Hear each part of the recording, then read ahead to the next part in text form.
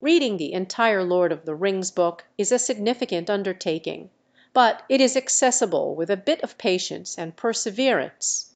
The story follows a hobbit named Frodo and his friends as they embark on a dangerous journey to destroy an evil ring that threatens the safety of Middle earth.